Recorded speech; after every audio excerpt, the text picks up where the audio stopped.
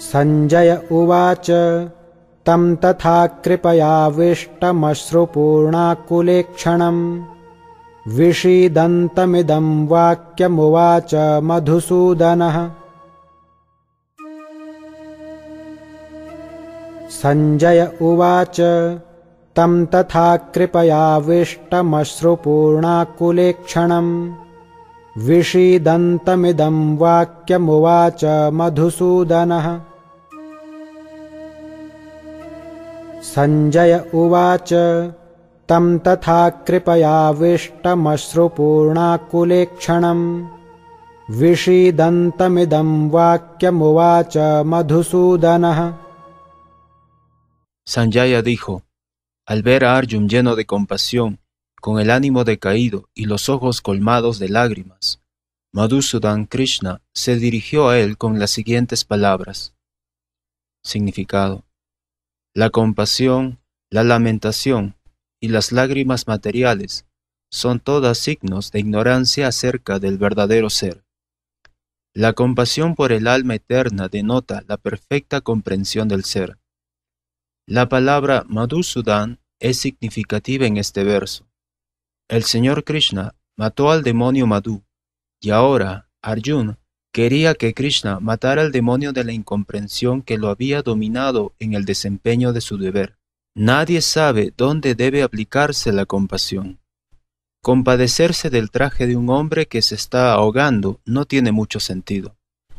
A un hombre que ha caído en el océano de la nesciencia no se le puede salvar simplemente con rescatar su traje externo, el cuerpo material burdo. Aquel que no sabe esto y que se lamenta por el traje externo recibe el nombre de Shudra, o alguien que se lamenta innecesariamente. Arjun era un kshatriya y semejante conducta no se esperaba de él. El Señor Krishna, sin embargo, puede disipar la lamentación del hombre ignorante, y con esa finalidad cantó el Bhagavad Gita. Este capítulo nos instruye en el conocimiento completo acerca del ser, mediante un estudio analítico del cuerpo material y el alma espiritual, según lo explica la autoridad suprema, el Señor Sri Krishna. La plena comprensión de esto se logra cuando uno trabaja sin apego a los resultados fruitivos y se sitúa en la concepción fija del verdadero ser. श्रीभगवानुवाच कुतस्त्वाकश्मलमिदं विषमे समुपस्थितम्। अनार्यजुष्टमस्वर्ग्यमकीर्तिकरमर्जुन। श्रीभगवानुवाच। कुतस्त्वाकश्मलमिदं विषमे समुपस्थितम्। अनार्यजुष्टमस्वर्ग्यमकीर्तिकरमर्जुन श्रीभगवानुवाच कुतस्त्वाकश्मलमिदं विषमे समुपस्थितम् अनार्यजुष्टमस्वर्ग्यमकीर्तिकरमर्जुन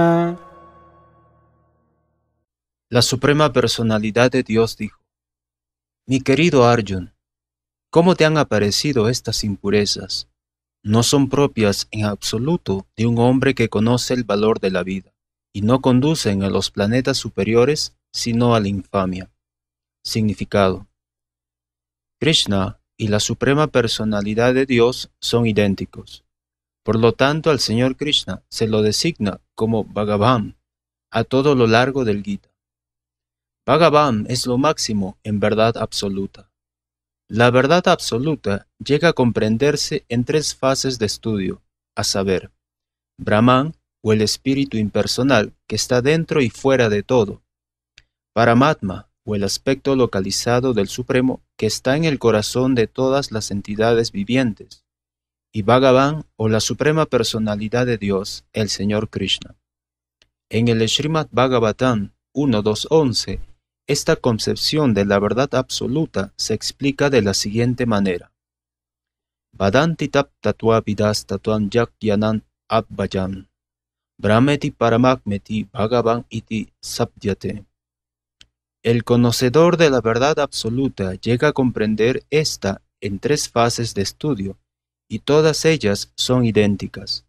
Dichas fases de la verdad absoluta se expresan como Brahman, Paramatma y Bhagavan. Estos tres aspectos divinos se pueden explicar mediante el ejemplo del Sol, que también tiene tres diferentes aspectos, es decir, la luz solar, la superficie del Sol y el planeta Sol propiamente dicho.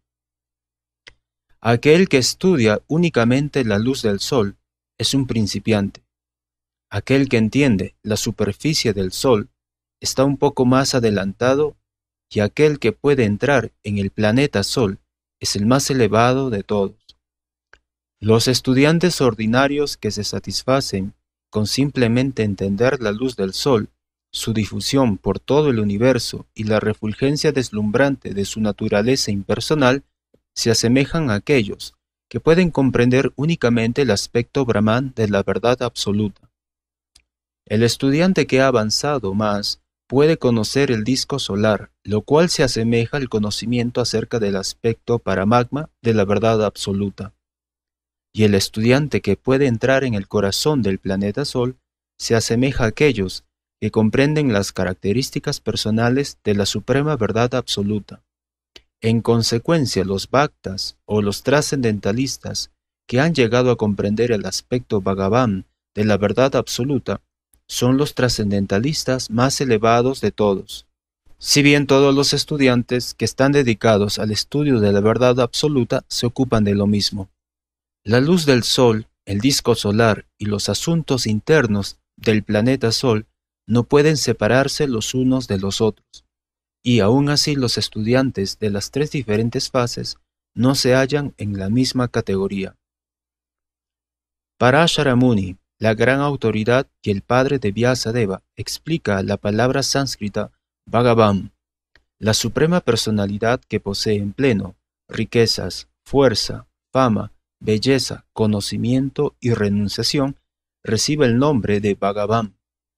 Hay muchas personas que son muy ricas, muy poderosas, muy hermosas, muy famosas, muy eruditas y muy desapegadas, pero ninguna puede afirmar que posee por completo riquezas en pleno, fuerza en pleno, etc.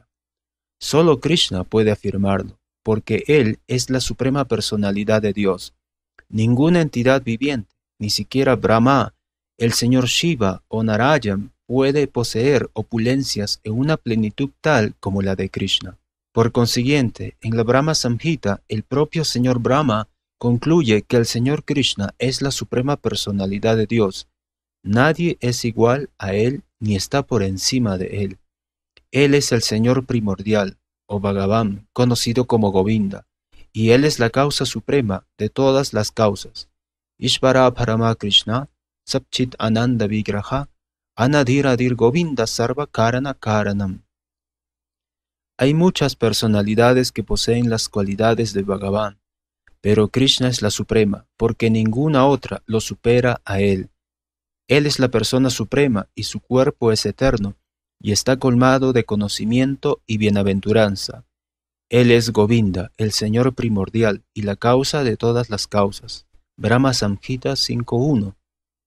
También en el Bhagavatam hay una lista de muchas encarnaciones de la Suprema Personalidad de Dios, pero a Krishna se le describe como la personalidad de Dios original de quien se expanden muchísimas encarnaciones y personalidades de Dios. Pumsa Krishnastu Bhagavan Swayam Indrari Vyakulam Lokam Mridayanti Yuge Yuge. Todas las encarnaciones de la divinidad que se presentan en estas listas son o bien expansiones plenarias o bien partes de las expansiones plenarias de la divinidad suprema. Pero Krishna es la suprema personalidad de Dios propiamente dicha. Srimad Bhagavatam 1.328 Así que Krishna es la suprema personalidad de Dios original, la verdad absoluta, la fuente, tanto de la superalma como del Brahman impersonal. Que Arjun se lamentara por sus parientes en presencia de la suprema personalidad de Dios es ciertamente impropio, y por lo tanto Krishna expresó su sorpresa con la palabra Kuttaha, de dónde, esas impurezas no se esperaban de una persona perteneciente a la clase de los hombres civilizados conocidos como arios, La palabra ario se le aplica a personas que conocen el valor de la vida y que tienen una civilización basada en la comprensión espiritual. Las personas a las que las guía la concepción material de la vida no saben que el objetivo de la misma es llegar a comprender a la verdad absoluta, Vishnu o Bhagavan, y a ellas las cautivan las características externas del mundo material, y por consiguiente no saben lo que es la liberación. Las personas que carecen de conocimiento acerca de la liberación del cautiverio material reciben el nombre de anarya, no arios. Aunque Arjuna era un kshatriya, al negarse a pelear se estaba apartando de sus deberes prescritos. Este acto de cobardía se describe como característico de los no arios. Semejante incumplimiento del deber no ayuda en el progreso de la vida espiritual y ni siquiera le brinda a uno la oportunidad de volverse famoso en este mundo. El señor Krishna no aprobó la supuesta compasión de Arjun por sus parientes.